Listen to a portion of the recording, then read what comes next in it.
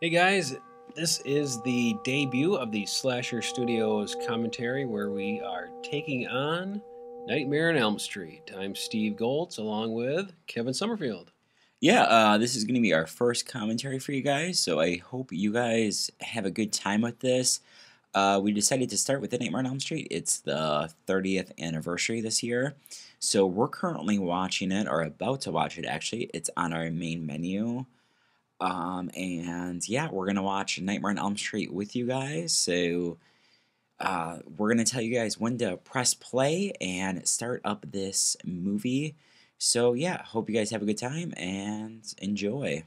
Yep, and we'll be we'll be back with many more movies in the future. So uh, hope you guys enjoy this. And if there's any films you want us to to check out, definitely let us know on uh, Facebook or Twitter. Or you know, you can always find us on slashstudios.com. So, like Kevin said, we are on the main menu. This is the Blu-ray of Nightmare on Elm Street, actually the the Steelbook edition, and uh, I am pressing play right now.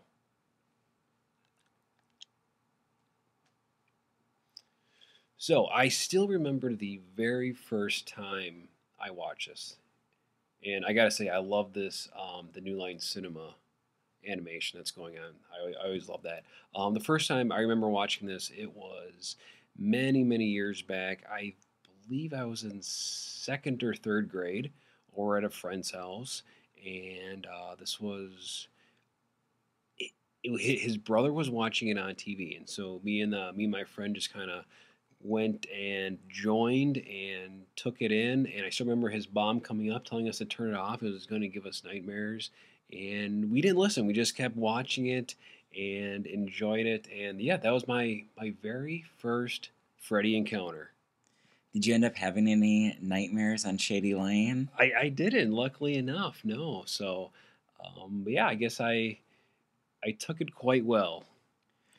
Uh, for me, I kind of have a different uh, backstory with this movie. Uh, this was actually um, from the original up to Freddy's Dead. Uh, this was actually the last one that I saw. I watched part three. I believe I was six years old. I was really young.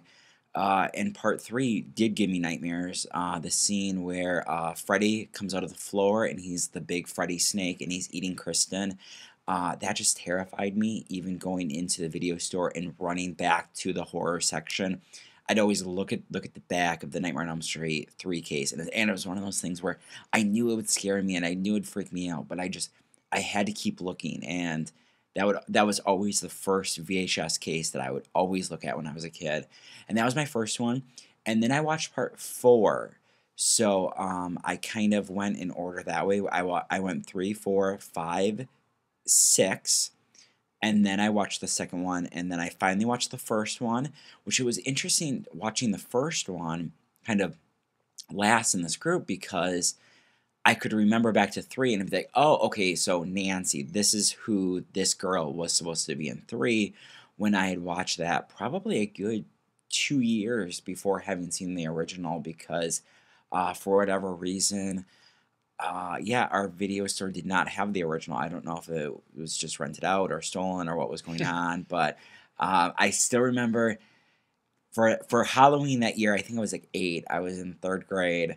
Uh, Walmart had this like end cap of horror VHSs, and the original Nightmare on Elm Street was one of them. And I convinced my mom into buying it. It was like twenty bucks and yeah, it's been one of my favorite horror films ever since. That's good. Yeah, I remember going to the old the old video stores and checking all these good good 80s movies out. So we're in the first scene right here, and we got the credits going over, and the, the credits are kind of cool. Um, a little more playful, I think, than we would have have nowadays in a film like this. Um, but um, still kind of still kind of cool, I think. Yeah, I think this opening scene is actually really terrifying. I mean, we have um, the lovely Amanda Wyss, which both me and Steve had the pleasure of meeting at Horror Hound Indianapolis back in 2012. And she was an absolute um, pleasure to meet. She was just very personable, very friendly, very nice. We actually got to meet the one and only Heather Langenkamp, who plays our heroine Nancy. and she was fantastic as well. So we got kind of like Tina's trashy mom, and me and Steve always kind of play that game. That's like, oh, like who would you be in a horror movie? And I know that Tina's stepdad. I think that would be Steve. He's like, hey, come to bed. Like your your girl's gonna be fine. he seems nice. Yeah, uh, I don't know. There's just something about her. I always wondered, you know, Tina's mom. Um, so I guess she was a part of this lynching mob that killed Freddy Krueger uh, many years ago. One thing that I do love about this movie, like with the girls, you know, with the jump roping, everything about this movie kind of has this eerie dreamscape where you're trying to figure out what's really happening, what's not happening, and it really does. It's one of the first kind of horror movies to really mess with the boundaries of reality and film. Mm-hmm. Yeah, it's it's got a lot of very cool stylistic features in it, which are which is always always cool and always fun to watch. So here we have a a young strapping Johnny Depp walking down the street with a lovely leather Heather Langenkamp, who was really, really cool and nice when we met her. So she was very personable. You could talk to her, and uh, that was cool. It was refreshing. So you don't always get that. Some of the celebrities you meet at the conventions, they're they're kind of standoffish, but um, we've been very lucky with with meeting some very nice, like I said, personable um, actors and actresses that just want to talk and they they ask you questions, which right. is the coolest thing. Yeah, it, it is really cool. I mean, with with Heather, like I was so nervous. She's my favorite final girl. Um, I just think that she's absolutely just incredible. She's just a joy to watch. And I was just standing in line, and we, we were standing in line probably for a good at least a half an hour to get her autograph. And I, I had in my mind, I'm like, I'm going to talk to her about New Nightmare. New Nightmare is the movie that made me want to be a filmmaker. I just think it's a fantastic piece of work, way ahead of its time. I get up there and she sees that one of the photos I want signed is from Just the Ten of Us. And we end up spending the entire time talking about Just the Ten of Us, which I like that show. It's a good, it's very funny, it's very witty. I wish that Warner Brothers would release it on DVD. But I kind of wish that I had the chance to do it over again because I would have liked to have talked to her more about New Nightmare. But I am going to flashback in August and Amanda signed on, Robert signed on, so there's a good chance Heather might come back too. So, what do you think of Johnny Depp's boombox?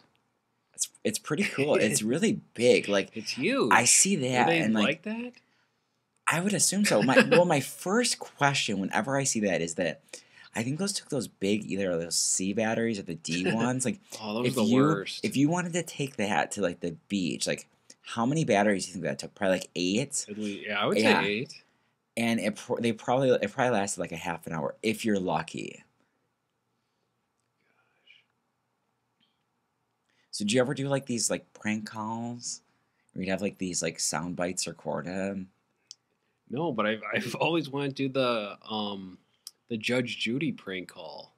There's some good soundboards online. I it's weird to see like back in the day like what the the teens did before the um, invent of the internet, which is really interesting. What I like about this scene and I like about the characters in Nightmare on Elm Street is that they're very down to earth and they're very they're very boy next girl boy next door girl next door. I mean these feel like real teens. They they have a very good chemistry. I really like the stuff between uh, tina and nancy and yeah, I mean, that's one thing that I don't know if we want to talk about it so soon into this commentary, but one thing that I kind of had a problem with with the the remake is that everyone's just so damn pretty. Like the the girls are pretty, the boys are pretty, like everyone just looks like they walked off a billboard or off of a CW uh, you know, show and, you know, that was the casting for the the movie, which very well could have been the case.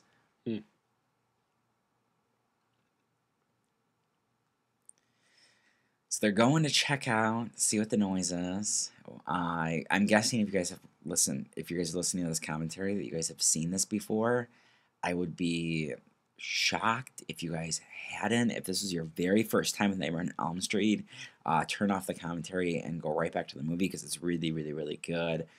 Uh, it's interesting listening to the uh, Wes Craven's commentary and kind of the behind the scenes.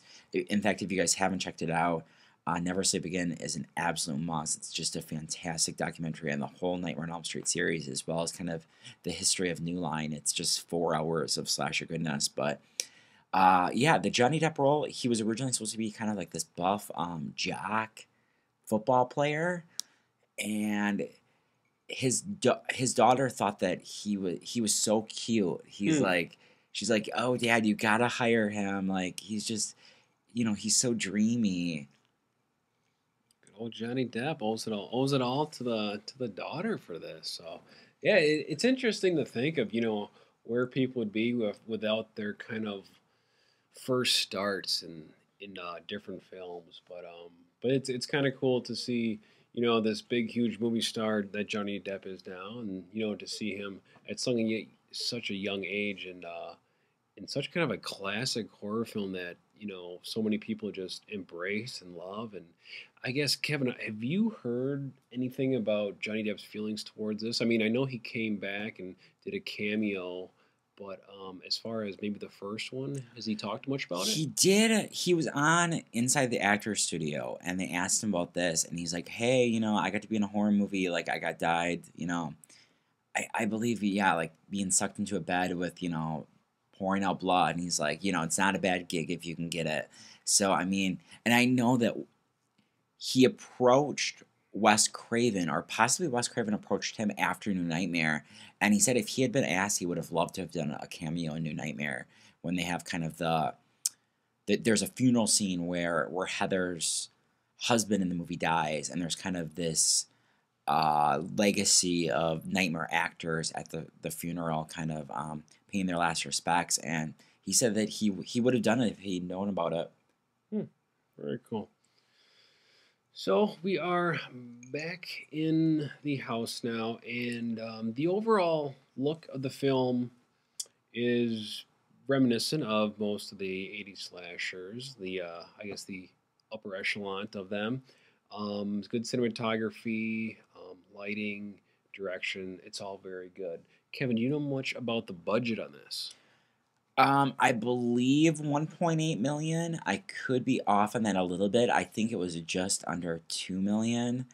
Uh, but yeah, it, it, was low. I mean, it wasn't like super, super low, like a lot of the kind of early 80s um, horror movies. But at the same time, I mean, when we look at the slasher genre, they're pretty basic. I mean, Nightmare on Elm Street takes it to another level with the the imagery and the special effects. I mean, it kind of takes everything up a notch. Where even kind of the the critics out there that weren't necessarily a fan of this film still found a lot to like about it. I know Roger Ebert did a review for uh, Nightmare on Elm Street 3, and he said that it, that it plays as kind of um, an upper class Friday the 13th, where it's better acting, better special effects, better budget. And I think that that's something that the Nightmare on Elm Street series had throughout. I think that it can be argued that the Friday the 13th movies are more fun, but I do feel like, for better or worse, the Nightmare on Elm Street series tries to at least be a little bit more consistent. There's much more continuity, and I think that it did help that it was kind of this studio that was really this was their first major hit, and they were behind it 100%. I mean, it's been talked about in you know interviews and stuff like that that the Paramount people were really ashamed of Friday the 13th. They were more than willing to take the money for it, but you know, any publicity, all of that, absolutely not. But you know, Freddy kind of for a, a while there, especially when three and four came out, became the face of MTV and was everywhere. And New Line really opened it up and became one of the first studios hmm. that were really welcoming to the fans to get feedback and support. Yeah, that's interesting. That you know, Freddy became such a you know popular icon. You know, such a huge part of of pop culture from early on. When I guess the essence of Freddy is so kind of dark and disgusting, and is, isn't that kind of weird and kind of almost creeping away how much we've embraced this pedophile? Well, I, you know what? There is some debate about the original Nightmare on Elm Street, whether or not he is a pedophile or if he's just a child killer. I know the original script said that he was both. I don't know if in the original or in this series, if it ever really comes out as that he is a pedophile.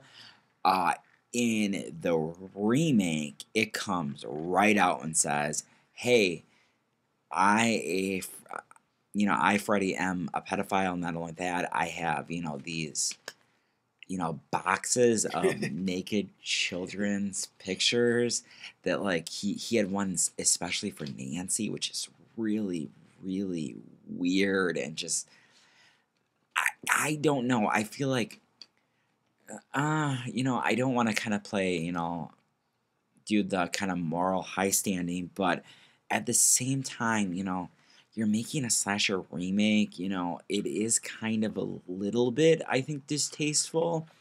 I don't think that any any subject should be off limits when it comes to horror. But when you kind of make a glossy where it's just kind of, you know, you're using it for cheap value or for, you know, cheap one liners, I I don't know 100% how I feel about that.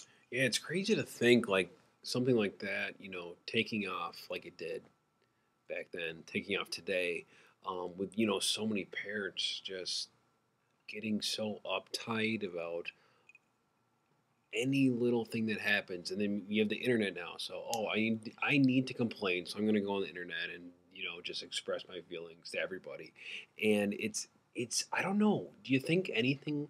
Like this could happen again where we have such kind of a dark character that takes on such like a massive hysteria of fandom?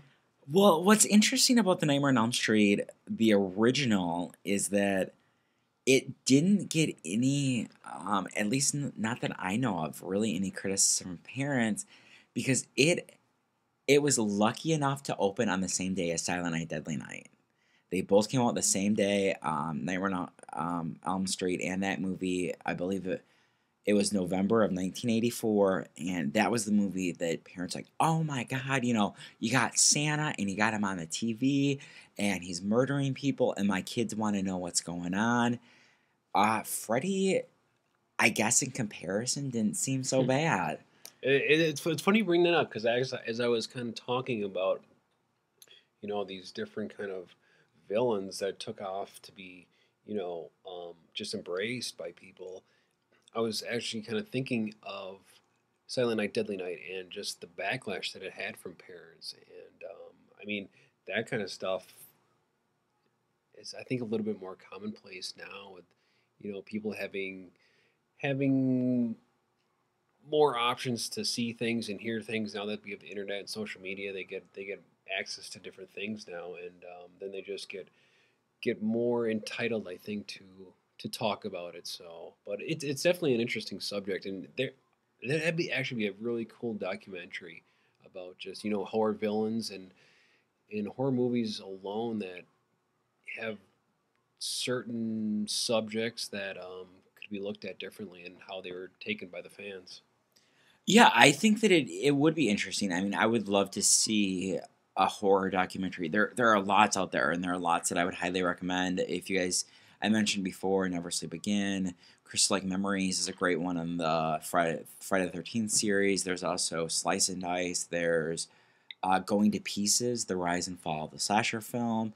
Uh, all fantastic documentaries and just a lot of fun. And it's it's interesting that out of all of the subgenres of horror, I don't know what it is. I don't know if slashers just kind of hit their peak at exactly the right time, but there have to be more documentaries and more slasher fans from the 80s than probably any other subgenre of horror that I can think of.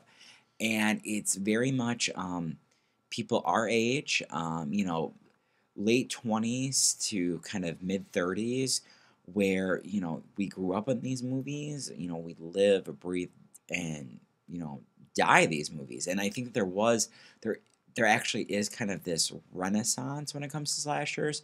Uh, last year was uh, the premiere of You're Next, which it didn't do a lot at the box office, but I thought it was highly entertaining, a really good kind of fun slasher.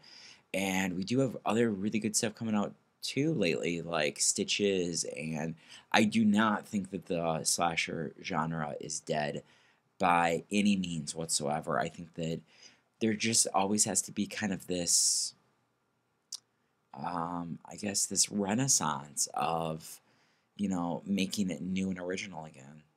hmm And what, what's really cool about this movie too is some of the, the practical effects they use. I mean, we, we just were witnessing Tina, you know, crawling around around the room, and you know, just the visuals of that is it's very powerful, and um, how they did it too by getting the room to actually spin around Mhm. and all that just mayhem that I'm sure ensued during filming of that is God more than we want to handle. I think.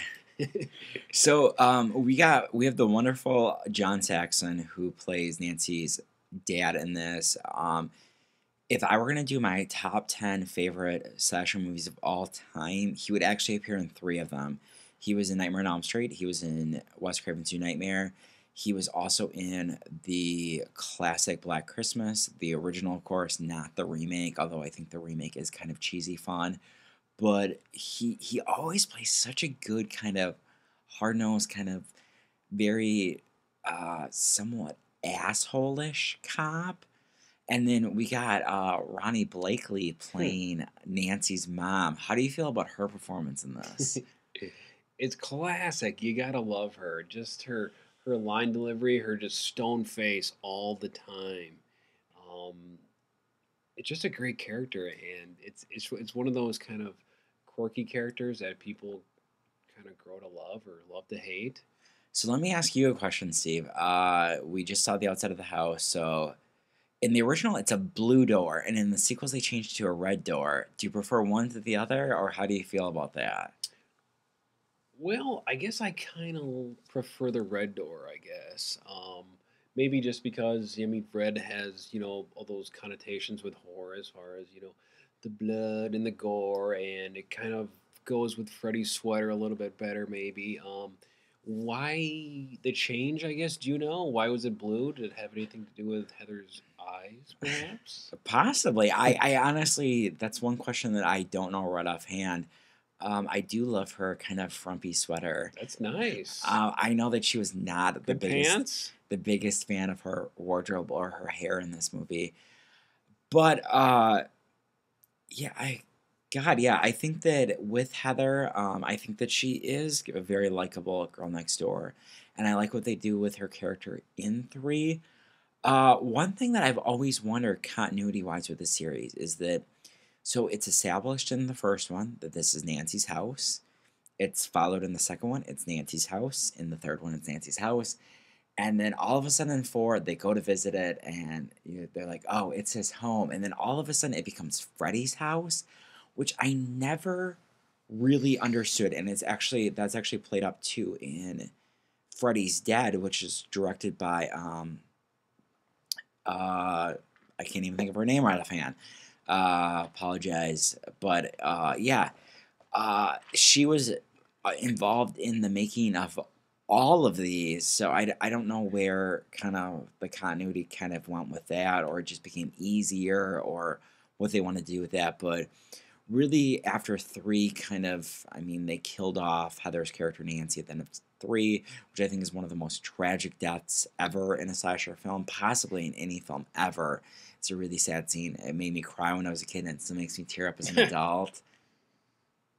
So my feet are hurting just watching Rod run around on the blacktop. I mean, you know, there's got to be some loose stones. He's he's he's hitting his heel on.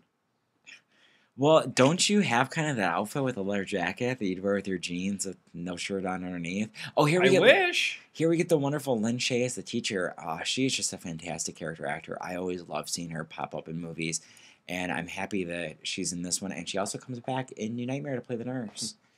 I always love classroom scenes in movies. I do because you know there's there's just a bunch of extras that are there, and they're just pretending they're in school, not really probably knowing anything that's going on with with the production. And this could be, you know, probably half of theirs first times in front of a camera. So it's always it's always funny just to kind of think of what's going through their minds and like them just trying to act act normal and act like they're they're writing and talking. So it was kind of cool to actually have a classroom scene in um, Don't Go to the Reunion, and so that, that was that was kind of fun to, to kind of witness firsthand. Then, Yeah, I feel like all the kind of the classic horror movies that they kind of do have this uh, school feel. There's always kind of that classroom scene. I mean, Halloween has it. Uh, Nightmare on Elm Street has it. Scream has it. It's just kind of a staple for the horror genre. and I always thought this was super creepy. You know, the bloody body bag. Um, yeah, that that kind of got to me more than anything, I guess. Um, I wouldn't say I was actually super scared or any nightmares. You were but scared. I wasn't. I wasn't scared. But if any imagery stuck with me, um, it was definitely this body bag stuff. Just super creepy. With the imagery of uh, Rod running around shirtless didn't stick with you? No, not so much. Or it could be if you guys know a good um, Slasher Studios alum, Matty Dorschner. He, he could play Rod. He's he's got the leather jackets. I could see that. I think that he'd be really good at that. Um, I think that another kind of powerful image that that works in this is also um, later on you get Johnny Depp's um, his football tee that's cropped. that's like a belly shirt. I think that the '80s, especially the early '80s, were the only time in horror history where the girl, where the guys actually wore less than the girls did. Very interesting. And then here we have a kind of a, a nice kind of wink at Freddy with the uh, with the sweater that this, uh, this other student is wearing, and then we see the the knives on the fingers, and we kind of lead into into the rest of this scene here, which is very cool. The leaves flowing and everything. So I like I like this this imagery and uh, direction a lot. Yeah, it's it's really it's very interesting to think that I mean, you know, Bob Shaye, the the head of New Line at the time when this movie came out, he had mortgaged his house. He'd kind of given up everything in order to, to see this movie get made. And just to see it get made, I mean, it's kind of incredible in and of itself. But if this movie hadn't been a hit, uh, we wouldn't have a franchise. We wouldn't really have a classic villain. And there were all these movies that New Line made afterwards that we would have never gotten these movies if if it hadn't been for Nightmare on Elm Street. I mean, you could even say Lord of the Rings was New Line Cinema. You know, if this movie hadn't been a success, would we have the Lord of the Rings series? I don't know. It's crazy to think how how we've come to you know embrace these movies, love these movies, and you know if maybe one thing wouldn't have gone Shaye's way, maybe this wouldn't have been made. It's it's just so crazy to think, and it's weird to think too that what movies could have been. You know, how many movies are out there that if they would have been made, then they would have been, you know, a huge hit and audience would have been flocking to them and there would have been sequels. But, you know, maybe there was kind of a hiccup in, in fundraising along the way for something. And it's just really bizarre and kind of almost scary to think about how many movies out there never even see the light of day. Yeah, it, it is crazy. And you know, I I don't know if you know how many, you know, kind of classic horror villains are we missing out on just because the movie either didn't end up getting made or ended up getting shelved or kind of went straight to video and people just forgot about it. I think there are a lot of good horror villains out there that are, you know, fantastic. You know, we've talked about it many times on our podcast before, but I mean, just look at Cropsy from The Burning. I mean, that's a really creepy villain. And, you know, you got kind of the burned face that was before Freddy, you know, and it, it, he was creepy and he was scary. And if the movie had been a hit, w- would we have gotten, you know, a dozen Burning sequels? I don't know. So do you? I guess kind of speaking the burning, kind of going off from this, we we had a Nightmare on Elm Street remake. Do you think there's ever going to be a Burning remake? I mean, the Weinstein are kind of all powerful. So you think that'll ever happen?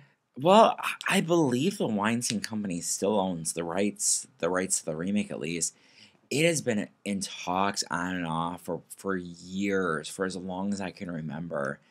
And yeah, I it's one of those things where I I have a feeling that the remake, at least the the slasher remake trend, has kind of come and passed. I mean, even with Child's Play, they had talked about the remake for for years and years and years, and then they decided to go the sequel route instead, which I actually think was a, a good thing. I I seriously doubt a remake would have been better than the most recent sequel, which I actually had a really good time with. But you know, it's Hollywood, so never say never. So effects in this we kind of touched on a little bit, which are um, were very good. I mean, just with Freddy's face, I mean that is just that is just awesome, awesome artwork. And I wish I knew a little bit more about it. I, I'm sure there's you know been some in, interviews and documentaries on you know the makeup behind it, and um, that that's something I'd really like like to learn a little bit more about. Kevin, do you know much about you know his process as far as getting the makeup done, and um, I guess maybe any concept art that they came up before they settled on this this face? Well, I know for Freddy, I mean, originally, if you uh, if you look at like the the stills and stuff and the the kind of character creation artwork, um, he was much more gothic, almost I would say a little bit you know, he kind of had this prowler look where it was much closer to what was kind of reimagined for uh, New Nightmare. And I think that they kind of simplified that. And I actually, I like, I really like the the Freddy makeup in. Well, this one is good. I, I I think that he looks the best in three and four. That was kind of where I think they really got it down. Five and six the Freddy makeup, I personally think is awful. I've I've never been a fan of kind of that that like those open sores and kind of like when when when five when five came out, it, it looked really the the makeup looked really rubbery to me. It looked really fake. I didn't like that. I liked kind of almost kind of that that wet look to his skin where I, I always thought that was really creepy. Mm-hmm. So these kids are having all these dreams, and they're all kind of connected. Have you ever had a dream that somebody else had, and uh, how creepy would that be? Well, I dream about you all the oh, time. there you go. I dream about myself too. In your dreams, are you beautiful and bad? of course. Uh not that I know of. Um I don't know. I'm one of those people that I rarely ever remember my dreams. Mm-hmm. When I do remember my dreams, they're very boring or just dumb where like, oh, I'm grocery shopping and I'm looking for this cereal and I can't find the cereal and I go home and I did find the cereal and it's in the bag and it's stuff like that that's just stupid where you know if if they were gonna make a horror movie about actual dreams that most people have it would probably be the most boring horror movie ever made. But uh, what about you? No, I mean I'm kind of right along with you as far as never remembering any dream I have. Like it's I don't even know the last time I remember a dream, which is weird. I don't know if that's normal or not, but um, yeah, I guess that's that's the only thing I know. So Heather is in the tub. She's she's sudsing up. She's got some bubbles going on, and her legs are spread and up comes Freddy's hand. And I love that shot. I love that shot so much. Um, I don't really know what it is, just the, the symmetry of it or or what, but I think this kind of scene as a whole is is kind of creepy because I mean to me um, it's kind of twofold. I mean she's dreaming about Freddy and it's in the water and water's always kind of scary too as far as drowning and we have that kind of playing a playing a part too. So it's kind of it's kind of twofold for me as far as the emotions. Yeah, and so yeah, we got a stunt double here, and yeah, I I think that this is a really creepy scene. I think it's very uh, reminiscent of Craven's film that he actually did right before this, which also features a girl in the bathtub, which I think is actually even scarier than this. It's it's Deadly Blessing, where the the guy walks in and she's got the the the washcloth over her face so she can't see, and he puts a snake in the bathtub. Hmm. Like, can you imagine if you were taking a bath and then all of a sudden there was a snake in there with you? That's never good. You never want to have a bath with a snake in you. I like that freaked me out. Like I have to look away every time I see that. Like I just had like this huge phobia of snakes. Like nothing scares me more than snakes. I remember you told me you you always feared to have a snake in your pants. Snake crawling up my pants. Close enough. Close enough. So Steve doesn't mind snakes in his pants. I don't like snakes, spiders. Kind of creepy too. so- Spiders don't bug me. I don't know. Like little, I'm like, what are they gonna do? Well, which are you scared of more? Probably snakes. They're just creepy. Like they have no legs, but they move around really fast. Like a cobra, like that like jumps at you. Like those are the ones that they would always show on like National Geographic that would like scare the hell out of me. Hmm. Or like you know they it would like bring out its hood and then it would like spray venom or like jump at the camera.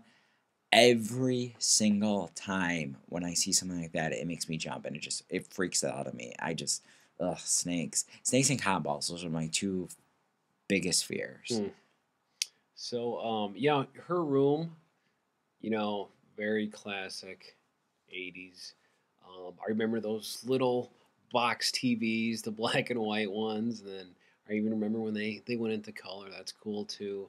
Um, yeah, I don't know why I had a black and white one to begin with. I think it was a hand me down of a hand me down of a hand me down, but I did, and it was it was kind of reminiscence to this this box one she has on her on her chair, which is is kind of cool. It's crazy to think. I mean, kids now have you know the flat screens on their walls and everything, and you know she's got this box tube TV that uh, Glenn just picks up and puts on the desk because he wants to sit down. So Well, I think it's really interesting because I remember when I was a kid, one of my friends, I I have never seen this before in my life, but he had a black and white TV, and it was like a portable one where it had a handle on it where you could move it, Mhm. and literally the size of this screen. My cell phone might have a bigger. I might be exaggerating. Maybe I'm just but we used to watch horror movies in there all the time and then it was really funny because like as a kid like i would set up my my vcr to i don't know how i was able to connect it to this portable black and white um, tv but i'm like and i'm still not 100% sure of this but i'm like if i record this is it going to record on in black and white or in color like when i watch it on color tv I never ended up recording it, so I never know the answer. Steve, do you know what the answer to that question I would would be? assume it would be black and white. You think so? Well, it's being broadcast in black and white, so But it's actually being broadcast in color, but the TV's I don't know, maybe. I don't know. At least we don't have to worry about any of that stuff anymore. So Well, you still have a black and white TV. Well, I still have a tube TV in my bedroom, a Hmm. 32 inch tube TV. oh, that takes up some room, huh? Yeah, it's on the top of my dresser, and I can't even move my dresser in my bedroom because that TV is so heavy. It's like 175 pounds. God, those are huge. But the picture quality is like really good. Hmm. Like there is something, and I don't know if I'm gonna be the only person out there that's gonna agree with this. But when I'm watching like VHSs or like DVDs, like I'd actually rather watch it in the kind of standard definition. I I don't like it the Blu-ray how it kind of tries to upconvert it, and it like to me it just makes everything look like shit. It makes look everything look grainy. It makes everything look very staticky. I I was actually uh, one of my favorite TV shows, Strangers with Candy. I was actually watching that on my Blu-ray player. Just like, oh my god, this looks awful. And then I watched in my bedroom on my my big huge tube TV, and it looked fine. So you know, I don't know. You, you get the good stuff in HD, but anything that didn't come out in the last couple years, it's it's not gonna look good without convert. Yeah, I, I agree. And a funny kind of side note talking about old big TVs. My dad had this big, just super heavy TV, and like the, it was like it, it was encased in like this wooden cabinet. And Oh, so on- it was a console TV. yeah, it sat on the floor, and then um, he ended up putting that downstairs. Then we ended up putting another 32 inch tube TV on top of that, and that the console TV served as the uh, the TV stand for the new 32 inch tube TV back in the day. So that was that was interesting. So we could watch two things at once, which was kind of cool. That, that was our picture in picture.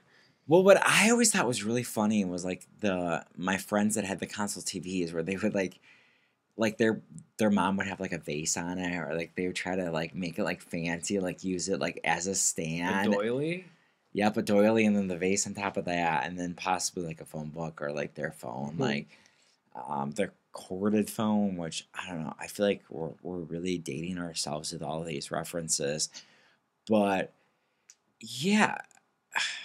I don't know. Should we get back to talking about Nightmare on Elm Street? Good. or we could talk about uh, console TVs and black and white. But I don't think I ever saw Nightmare on Elm Street in black and white. I remember the first movie I watched on his TV was a made-for-TV movie, and it was Saved by the Bell Hawaiian style, which. I, I was really excited to watch that on NBC. It was, it was right in between the seasons of Saved by the Bell, so that was really fun. And then I remember right afterwards, uh, we had we had to to change it over because on the other channel, uh, on USA, they were playing Prom Night Three. Hmm. Interesting. So we have this cool, very cool cell scene here with uh, some more cool effects that that still hold up today, which is kind of crazy to think. I mean, um, they have Freddy walking right through the bars, which is cool. Um, we have another creepy, um, creepy shot of the body bag with these centipedes that just kind of grosses you out, and nobody wants to see a centipede coming out of somebody's mouth. Yeah, I think that one thing that this movie really does get right, and something that the sequels don't place so much advantage to, is that it is the, really those little things where you know the the snakes, the spiders, you know the the centipede, the the eel. Like it's those kind of stuff that you're like, ugh, like it, it really kind of freaks you out. I think that the sequels do become much more elaborate, and so this right here, the kind of quicksand stairs. I think that's a really good dream touch, and that was actually Bob Shaye's idea. And they used um, uh, cut up pieces of uh, carpet and uh, pancake mix. Hmm. And you just said pancake National Pancake Day was yesterday. Yeah, well, well, it depends on when you listen to this. I guess now it's after midnight, so it's actually two days ago. But uh, who doesn't love a good pancake? Mm-hmm. Definitely. But uh, but yeah, I mean, I don't know. I don't really know what it is, but there's there's this creepy. I think that I think that's the good word for it. And Kevin, you'll have to kind of give your two cents on this too. But um, what kind of sets this apart from maybe the burning or Friday Thirteenth is the the weird little creepy things, which you you did kind of touch on as far as you know the the centipede coming through and just everything being in a dream, which can be very scary. I mean, we, we've all had those dreams where we wake up just freaking out, like not sure was that real, was it a dream? I'm not sure what's going on. Or on the other hand, when let's say you know Friday Thirteenth, I mean that series is a little bit more fun and I guess upbeat, and you just have more of a good time with that. So I think this is what the kind of creepy factor sets this apart a little bit more. Yeah, and I completely agree with that. And then, kind of on a side note on that, is that what Nightmare on Elm Street gets right and what makes it so creepy is the fact that, you know, Friday the 13th, The Burning, Halloween, you know, you could you could escape these villains versus Nightmare on Elm Street there's going to have to be a time where you're going to have to fall asleep. And when you fall asleep, he's going to come for you and there's a good chance you're going to die. There's just, you know, sleep is something you just can't escape. It's always going to be there and you better hope that you can fight it. Do you think you could stay awake? How, how long do you think you could stay awake? 'Cause Four or five days? four or five days with uh, the aid of any p- pills or anything, or you think just straight coffee, or what do you what are you thinking? Uh yeah, I mean Well, I drink so much caffeine that caffeine really doesn't even have that much of an effect on me. And I know Steve Goltz kind of has the same thing. So here with the the um oh god the the blanket that's gonna strangle him. I know that I didn't notice in the Blu-ray, but you can actually see the wire sticking out as it's about to strangle him. Did you notice that before, Steve? I didn't. No. But, So uh, it- thanks for pointing that out. Yeah, it'll be it'll be coming up really really shortly. You'll you'll see the wire plain as day, and there'll actually be a scene later on. I'll I'll see if I can catch it. But when Nancy jumps out of the window, you can see her jump up because she actually jumps on the bag. Mm, See, there's the wire. Yeah. Hmm. And this this is cool cool too. I mean that the the intercutting between um the scene in the the the shots in the cell to the shots of Nancy and her dad, and uh, that, that that's cool too. It's it's nice to have some some parallel editing going on, so it's not just it's static on on one person the whole time. So I, I like that. I think that's a good touch. Yeah, and I think that you know, one thing that I, I keep saying one thing that the Nightmare on Elm Street series does well, or you know, but there there is actually a lot of things that it does well, but especially you know more than any other slasher series is that I love how independent our final girls are. You know, you get Nancy later on, you get Kristen, you get Alice. These are resourceful uh, females who, at the end of the day, they'll do whatever it takes to save their friends. And when that doesn't work, they realize at the end of the day they have to save themselves. And that's what really works with the series, I think, more than any other horror series around. So there is kind of a unique relationship, I think, between Wes Craven and Bob Shaye. Um, I mean, Kevin and I have seen some documentary footage and some interviews um, with the two, and I think unique is kind of putting it lightly, Kevin. Well, I think that with I think that with uh, Bob Shaye and Wes Craven and kind of their relationship, you know, they had a lot of problems in one. I think that there was a lot of turmoil, a lot of stuff that uh, Wes didn't agree with, including an ending that Bob Shaye wanted to change.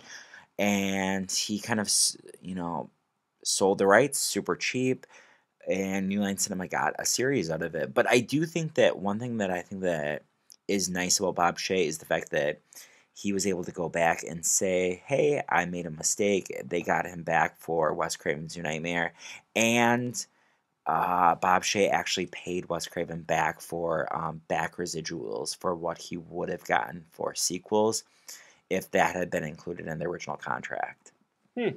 Interesting, interesting stuff. Yeah, I mean, ju- just some of the comments they kind of make at each other, and some of the jabs here and there, and in uh, some kind of interviews and documentary footage. It's it's kind of funny. It's kind of laughable.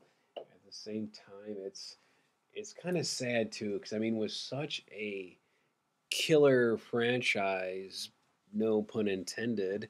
Um, it's it's too bad these guys couldn't have been, I guess, more of friends and colleagues and partnership. Um, um, I guess in a part in more of a partnership with this, and you know who I guess who knows what else could have happened. Maybe they could have came up with another movie and um, had another kind of slasher slasher franchise take off. It's it's it's it's something to think about. I think. Steve thinks I'm the Bob Shaye of Slasher Studios. I'm Bob Shaye. I love Bob Shaye. Bob Shaye's hilarious.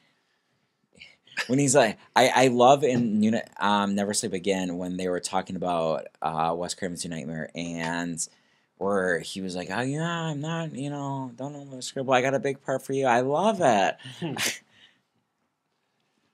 So we are in a scene with Heather is hooked up to all these electrodes and she's being tested for sleeping. And I don't know if I could do this. A, having all that stuff on my face would just kind of make me want to just rip it off. B, knowing people are watching me and like taking notes and all this data is being processed when I'm sleeping. Um, I think it'd be really hard for me to fall asleep. What about you?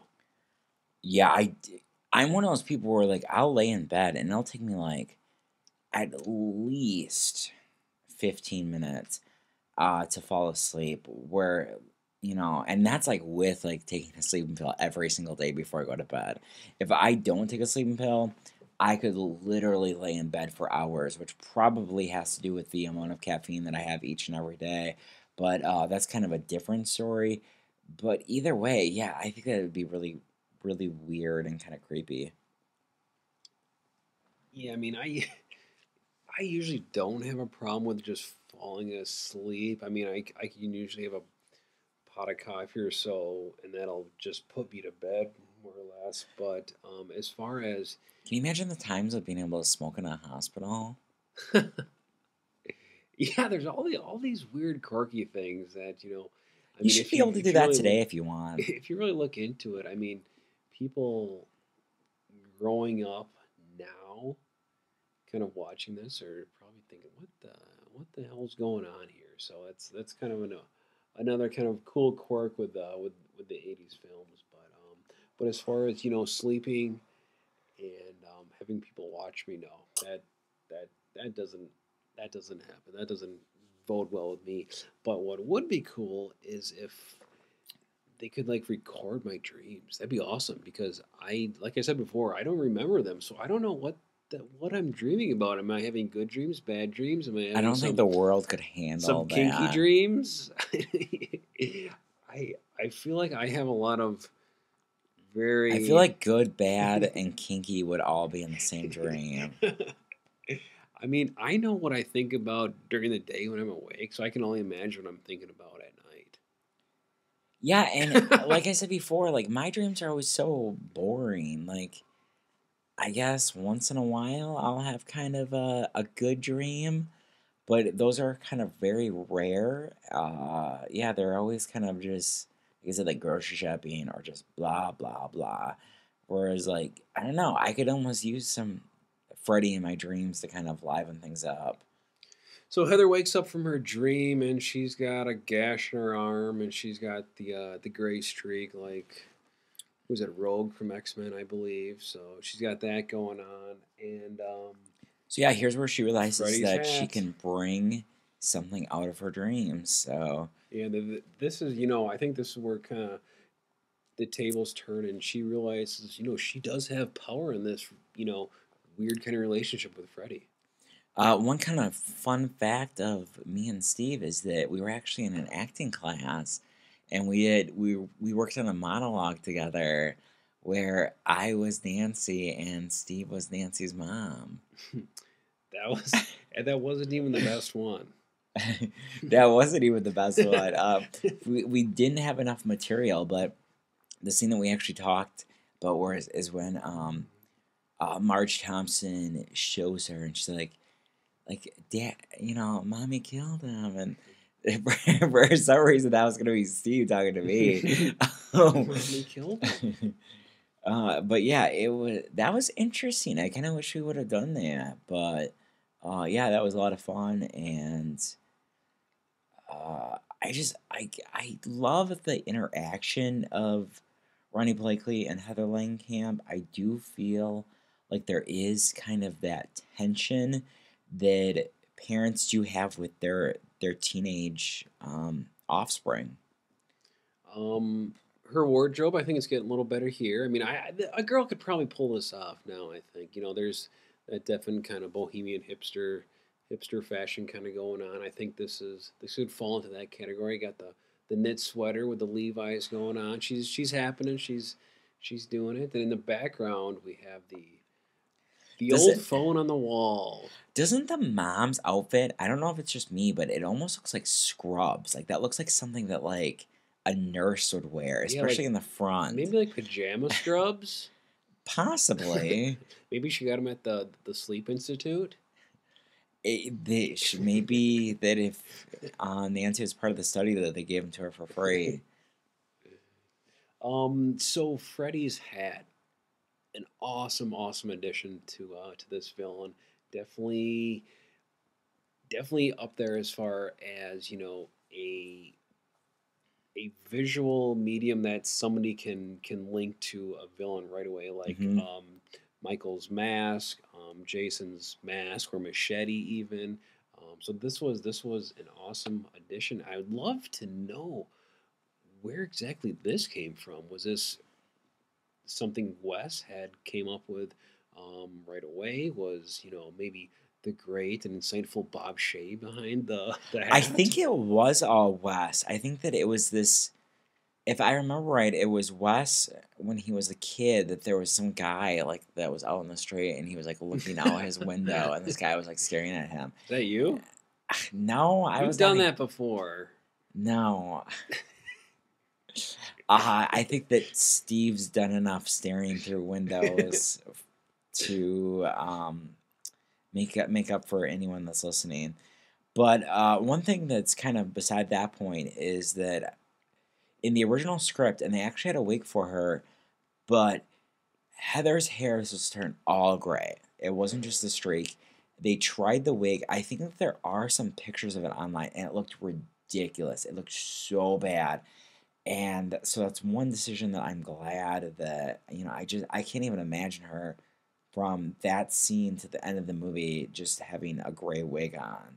Yeah, that just sounds weird and awkward. So I don't know. I don't know how I feel about that. Um, we have this kind of nice, cool shot of uh, Johnny and Heather up on the bridge, and the the slow zoom in as Johnny's getting his, his lunch out, and this this has got me craving some some burgers, maybe some In and Out. Ah, In and Out's always good. uh, I could go for some. This has nothing to do with what he's eating, but I could really go for some tacos. Tacos are always good as well. so- I wonder where he is, where that is from. If that's like a defunct uh, fast food restaurant, or you know, if it's just kind of you know set dressing. But Mhm.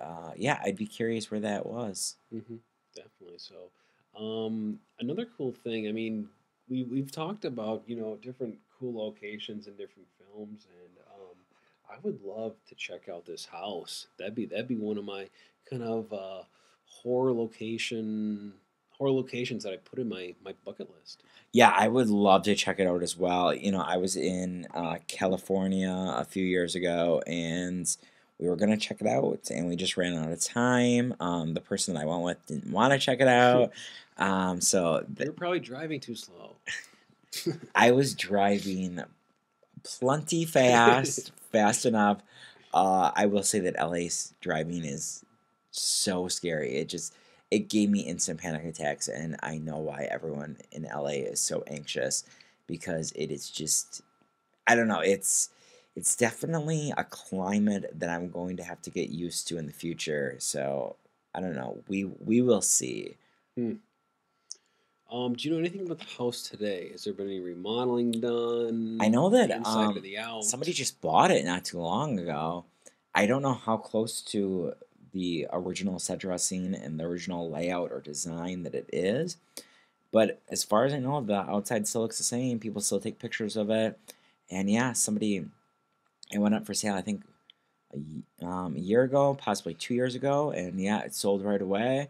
So um, hopefully it went to a fellow uh, Nightmare on Elm Street fan that's going to take good care of it. Yeah, could you imagine? I mean, having having uh having that house, being able to to sleep in it. I mean, that that first night sleeping in that house, it's got to be a little little kind of weird and almost uneasy, probably.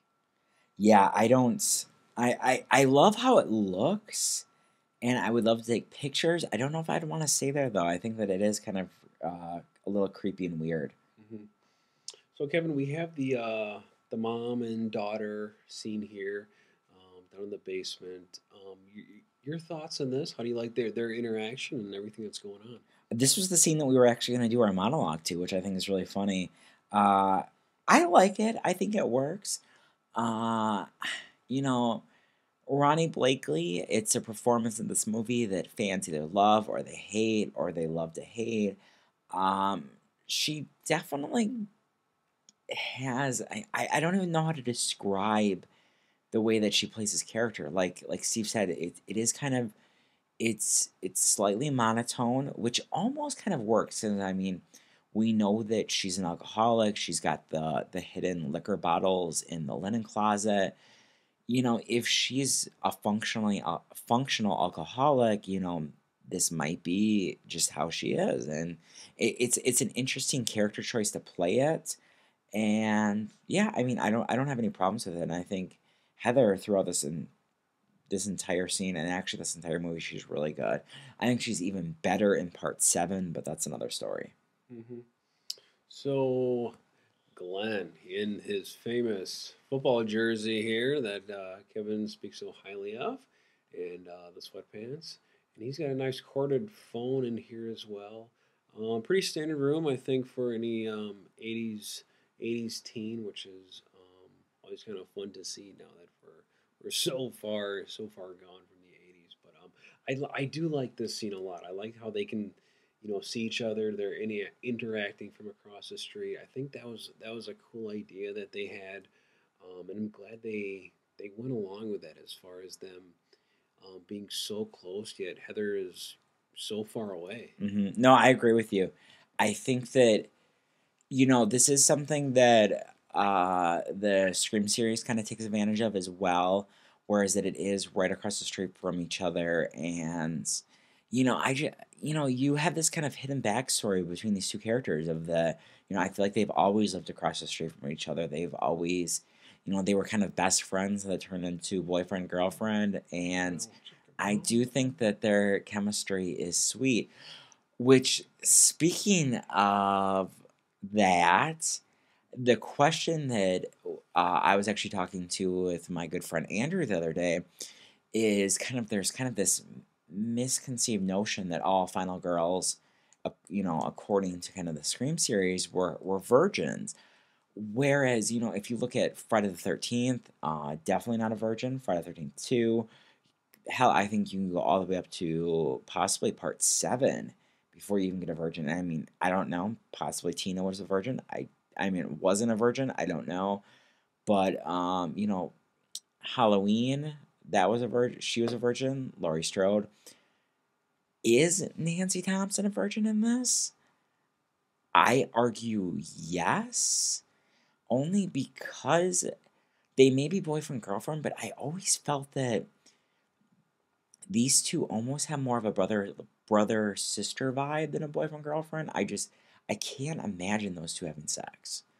Hmm. What do yeah, you think? I mean, it, Glenn is definitely not Rod, um, and at the same time, I mean, Heather's just so innocent, and I I feel like she she's you know innocent and yet strong and if she has a belief as far as, you know, waiting and finding the right guy, maybe Glenn wasn't that guy, um, I think she's going to stick to stick to her guns. Would it would Glenn be the right guy for you? Well, that TV he's got in his bed will hook me in any day, so, um, so that'd be cool. So I'm I'm actually curious on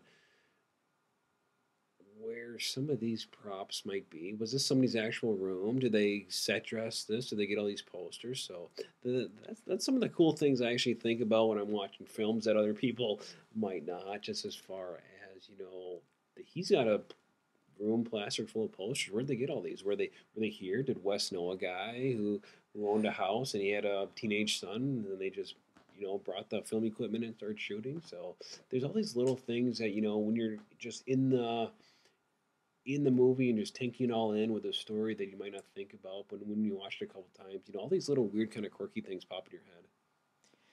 Yeah, so we got the couple that's kind of separated. It's very Romeo and Juliet. The families don't want them to be by each other.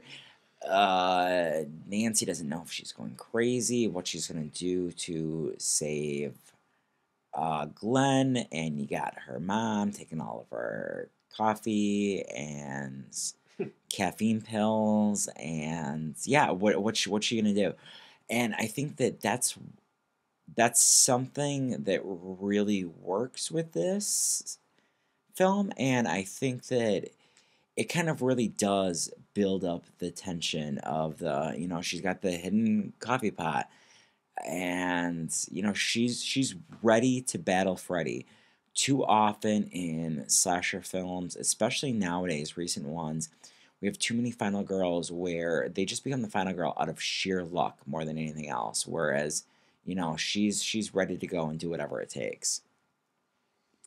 Oh, we got a little uh, shirtless scene here, which which was. Um,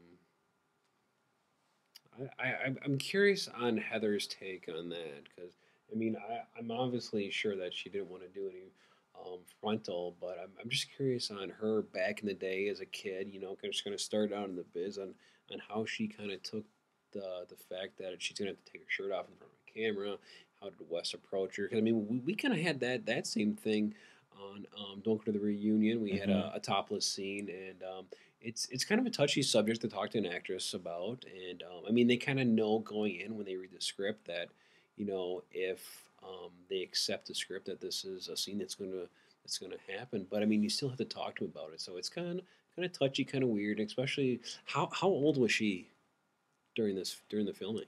I believe either 18 or 19. I mean, Okay. she was an older teenager, but she was definitely about the age of her character, Mhm. maybe just slightly older, but I know that she was definitely under 20.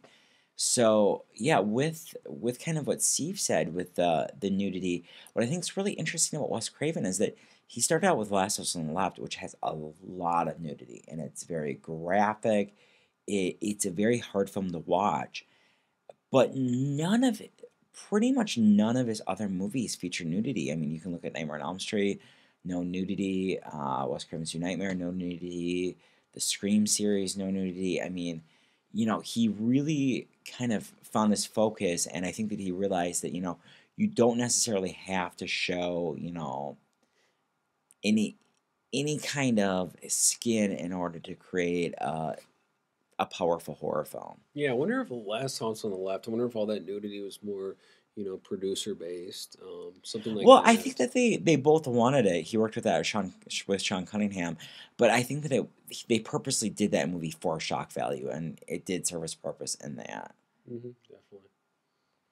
Um, so we're you know we're getting you know a little bit further in into this film, and you know we're we're going to be having some some pretty intense stuff coming up. So what do you think about about these parents right here?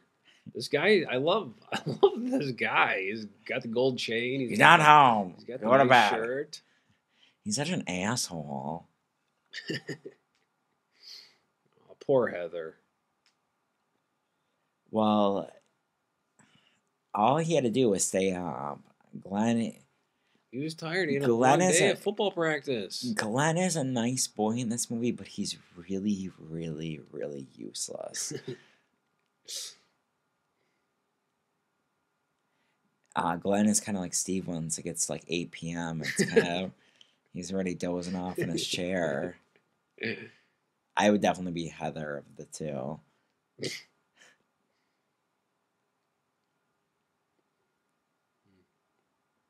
Another kind of cool thing that that would be awesome to see, and Kevin, I don't know if you know if any of this even exists, but um, some like maybe audition video or um, some just kind of video of Heather and Johnny just kind of going back and forth, bouncing stuff off each Well, other. allegedly, lots of people auditioned for this. According to IMDb, for Heather's role, uh, Courteney Cox auditioned, Hmm. Demi Moore auditioned for uh, Johnny Depp's role. Brad Pitt auditioned. I mean, it just. I mean, can you imagine this movie if it would have starred Brad Pitt and Demi Moore? I mean, it just it it feels so weird.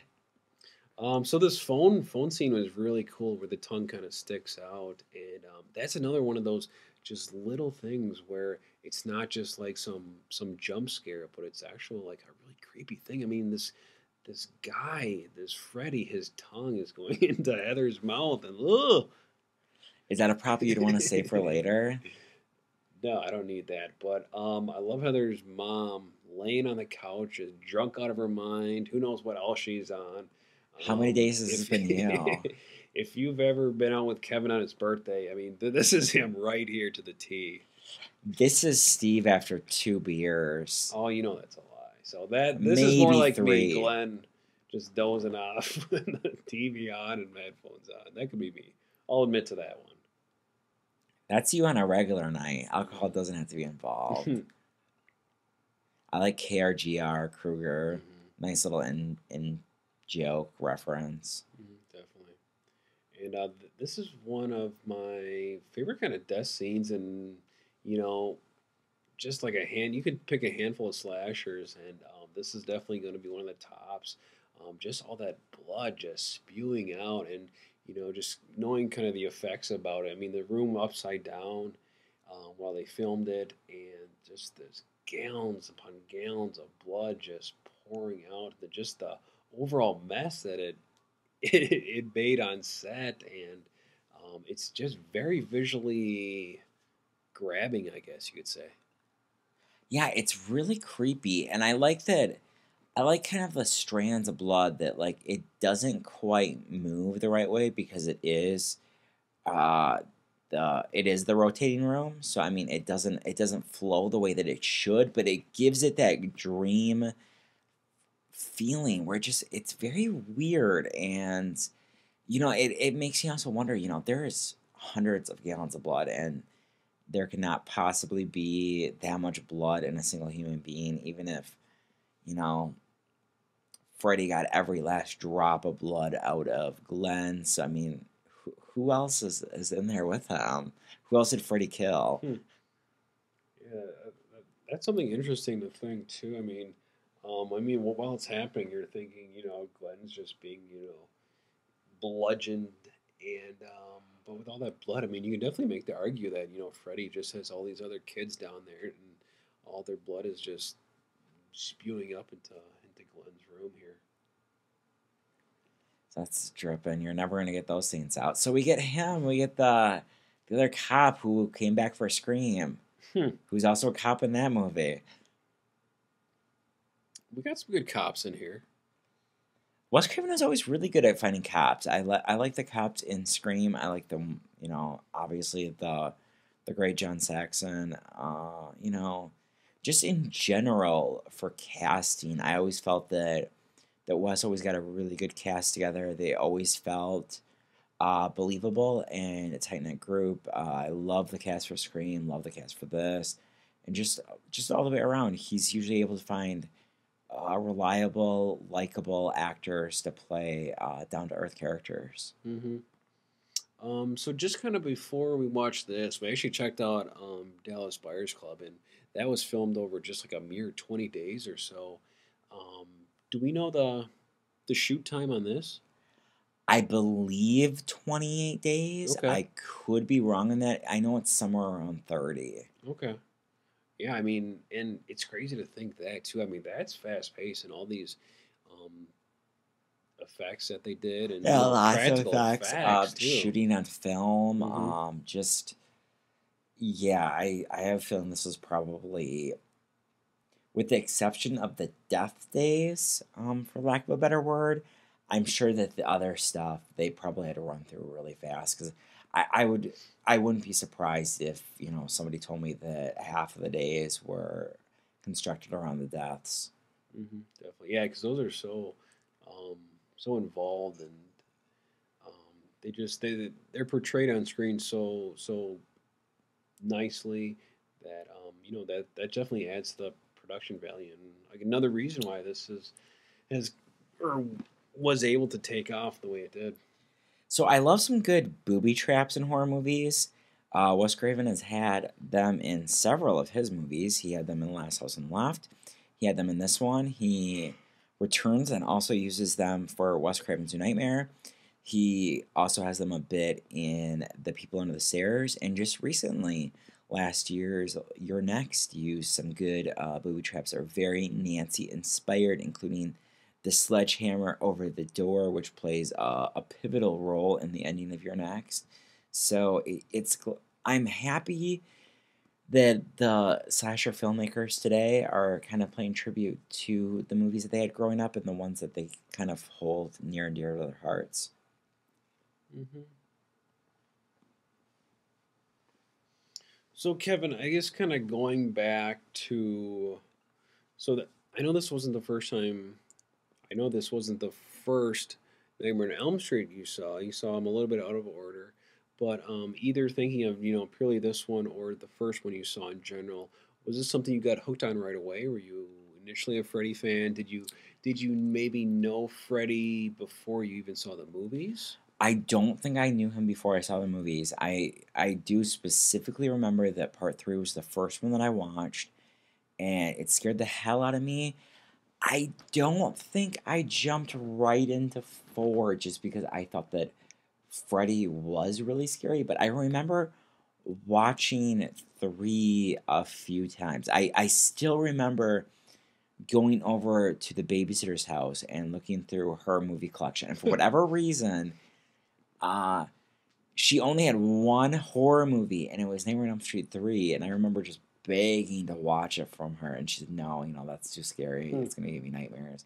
Blah, blah, blah, blah. But um, I think that she was the only. My other babysitters did not care at all. You know, pretty much anything that would shut me up. So it was usually like Friday Thirteenth marathons in USA. Mm-hmm. Do you know anything about any sort of kind of butterfly symbolism in here? Because I mean, in this room, there's um picture of butterfly behind Nancy. When she's in the bathroom, she opens up the medicine cabinet. There's a butterfly in there.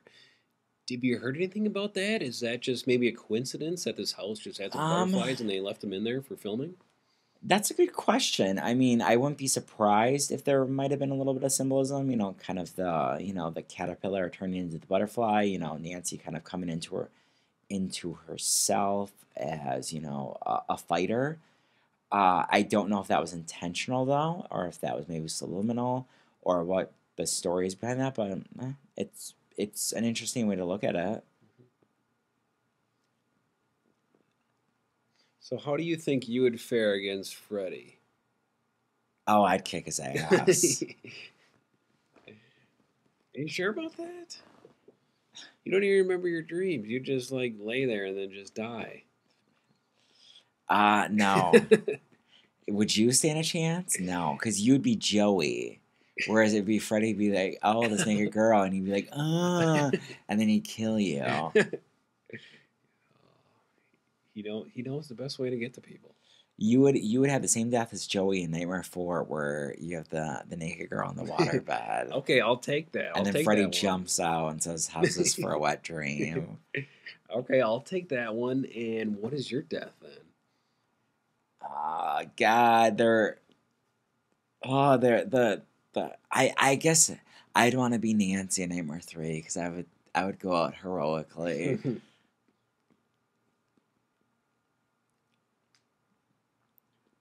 Or your other favorite death is also from Nightmare 3, The Wizard Master. there you go. That's That'd for you. Probably be you. If we're being honest and serious with each other, that would probably be you. I've never played Dungeons and Dragons before in my life. Hmm. So, um, we now see that she uh, Heather goes downstairs, Nancy goes downstairs, and the um, the glove, the knives, that's that's Freddy's that she saw earlier, that is now gone. Um, I guess Kevin, kind of before we kind of get in even to the the glove and what that kind of um, meant to to us horror fans and pop culture. Um, staying a little bit with the mom, what do you think about her role and maybe the other parents' role in um, what they did to Freddy? Well, because Nancy is such a pivotal uh, character in this series, and the mom feels so much guilt, and kind of the her dad kind of just wants to forget it ever happened. I wouldn't be surprised if they were, you know, the the ones, you know, that uh, you know, for lack of a better analogy, you know, set fuel to set uh set fuel to the fire. Uh, and yeah, they, they definitely had to have played a very important role for Freddy to care this much about her. Mm-hmm.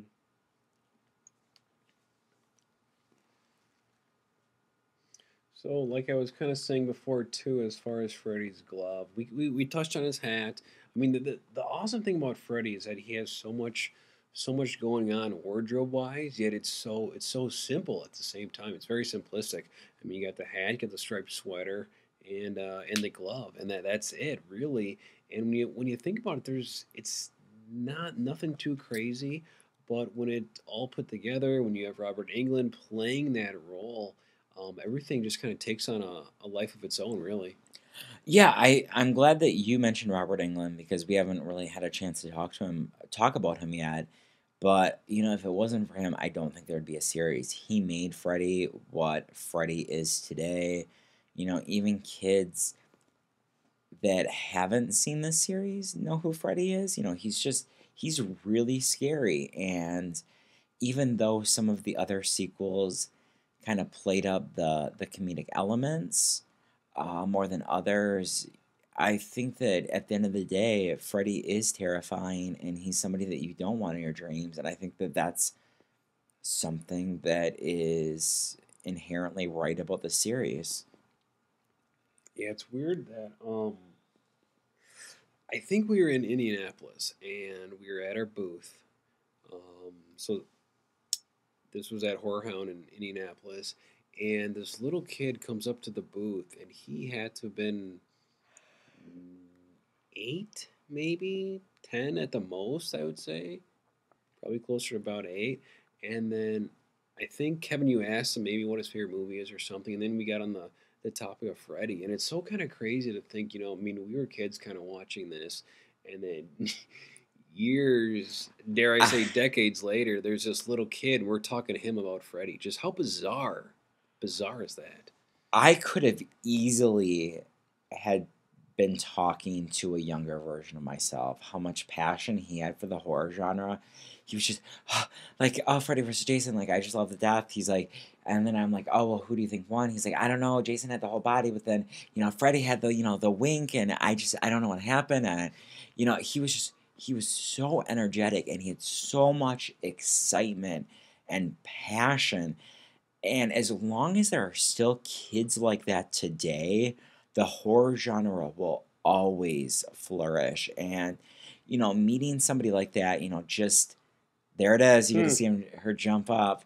Uh, there, there's there's always hope for the horror genre, and it, it was a privilege to meet you know just this young horror fan that loved these movies just as much as I did, and I, I'm ha- I'm really happy that they're still out there.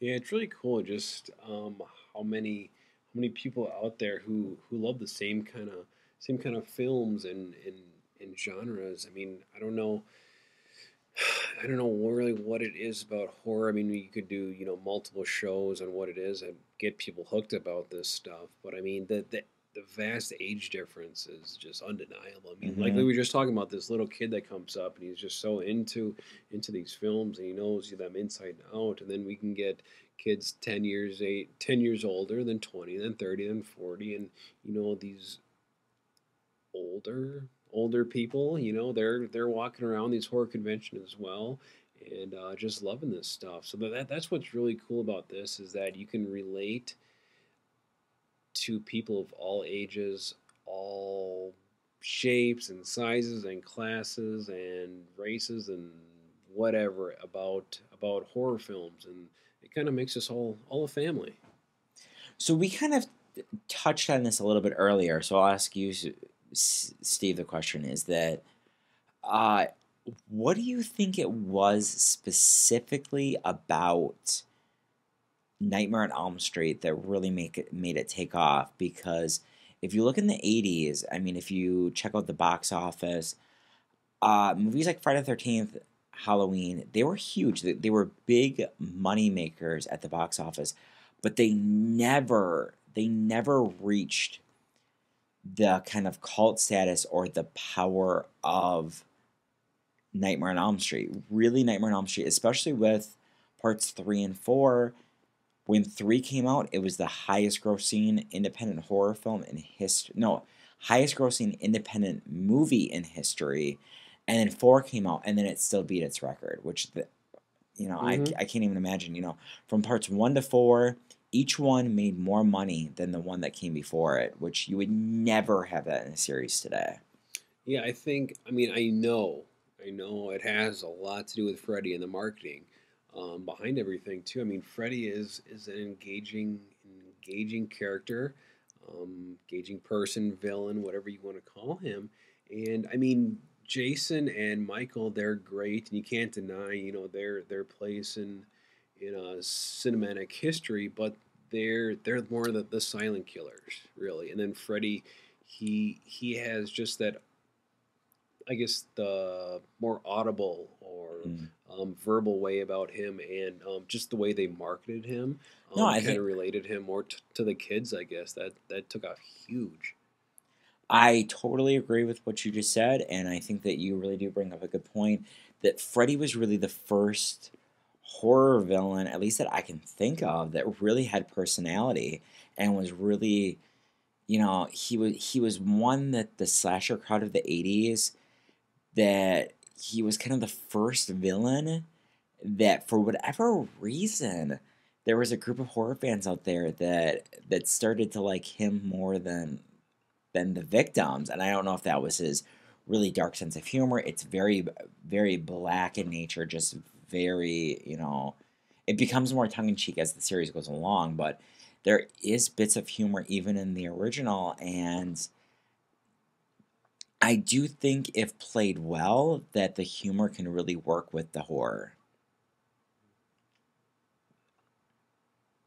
i love the footsteps on fire Yeah, I mean this this is a cool a cool visual scene too. I mean, I God, I mean we we've never done anything with fire. I mean that that's that's a whole a whole entire new ball game there as far as you know having you know the actual carpet on fire inside a house and then a person on fire. Um, but I mean it's it's an awesome thing to see. And here we have more butterflies, more That's true. butterflies in this scene as well. so how do you feel about this right here I don't know. It's a little robotic.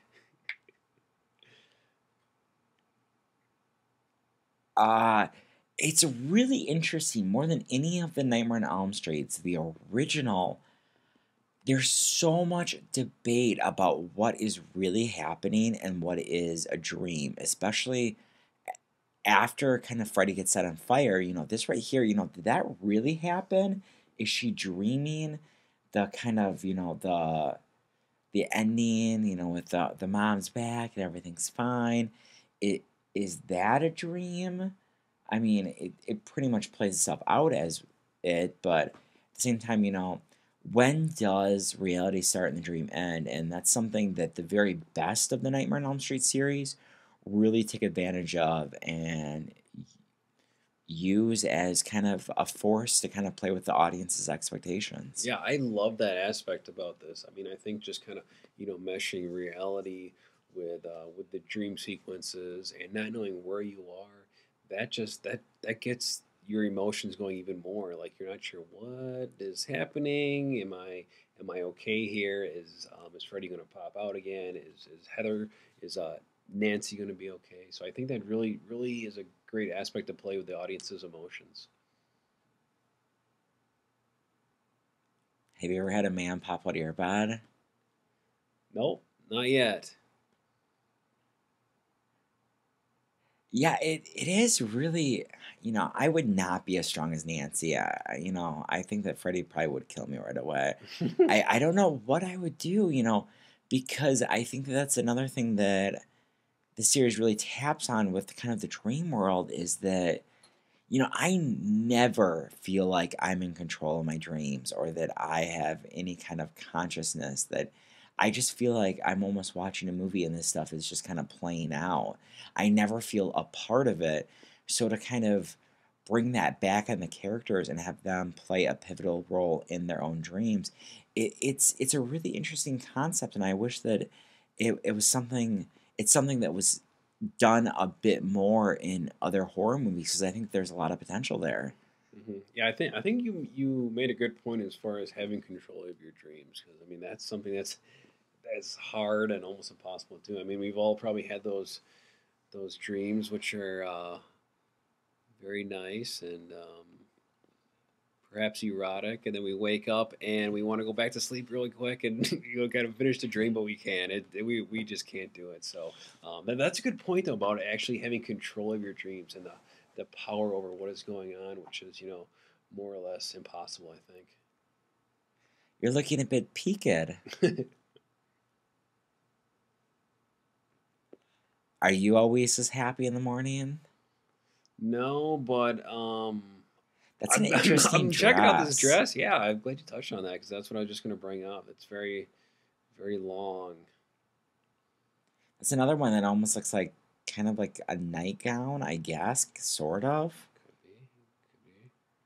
Could be. Um, we have a really cool touch here too with uh, the top that comes over the convertible and the the Freddy colors, and you know just the lack of control, I guess, over the car. Well, Wes Craven didn't want any of this. He just wanted the them driving away as the moms um, waving, and uh, Bob Shaye actually wanted Freddy driving. So this is kind of their compromise. What do you What do you think about the jump roping girls? I think it's really creepy. I think Me too. that. Do you like that being sucked through the the window? It's. I guess I, I have to like it. I, I love the movie and um, I don't want to. I guess there's not too many things I can really dog on or hate about, but um, no, I think it works. I guess. I mean, you could have gone either way. It's it's funny. It's it's one of those things where like if you want to play the ending as a dream, it works because you know it doesn't have to necessarily be realistic. Tina's mom's boyfriend. Hmm. There's Sue's character. That's a good, that's a good title for him. I like that. So, um, but yeah, he was he was good. I I gotta see some more stuff he's done. So yeah, uh, this was our very first horror feature length commentary. Uh, hope you guys enjoyed it. Uh, we should be back next week. We'll be announcing in the next couple of days what our next horror commentary is going to be. So we had a good time watching Nightmare on Elm Street with you guys out there. So hope you guys had a good time as well. definitely this was this was cool. This was a new experience for us. And um, like i said before you know we're going to be back. We're going to be doing this again. If you guys have some films maybe you want us to to do a, a fun commentary on let us know. So um, like kevin said we'll be back again. We'll be posting these weekly. So definitely check them out. And don't forget to uh, to check out us on twitter slasher studios.com Facebook and Tumblr. We're pretty much anywhere and everywhere. So until next time, guys, have a horror filled week.